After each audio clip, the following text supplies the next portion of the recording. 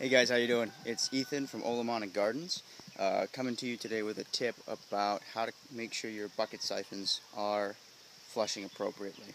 Now, one of the most, one of the biggest problems you can run into on your aquaponics system is a failure for your bucket siphon to turn over in a timely manner. Um, if these things fail to turn over, a lot of times what you get are cinder beds that aren't draining completely, which can lead to a lot of problems with your plants and your fish upstream.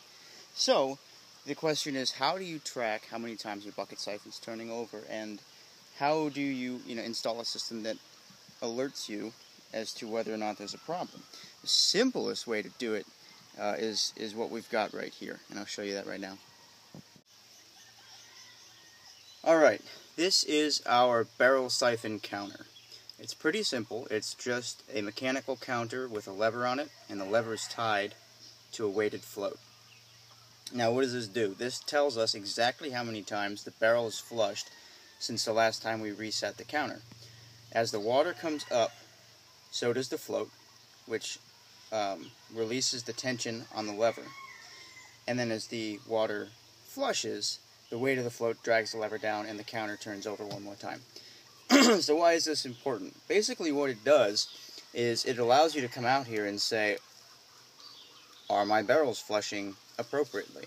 A lot of the times what we have is, uh, you know, we have a problem where we'll come out here and the barrel will be midway through the cycle and so we know, yes, it did flush at some point, but we don't know how many times it's flushed uh, in the past few hours. We've got, we've got virtually no idea. So there could be a problem somewhere, but as long as it's, you know, in the middle of the cycle somewhere, you'll never really know.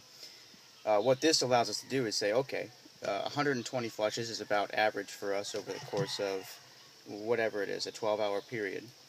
Um, so if we come out here again tomorrow and it's at 120, we know we know we're okay. But if we come out here tomorrow and it's at 80 or 40 or 2, you know, then we know we've got a big problem and uh, we can move forward from there.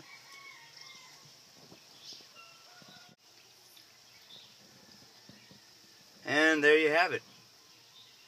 One cycle down, we are one cycle further advanced on the counter. Uh, like I said, this allows us to easily keep track of whether or not our barrel siphon is working.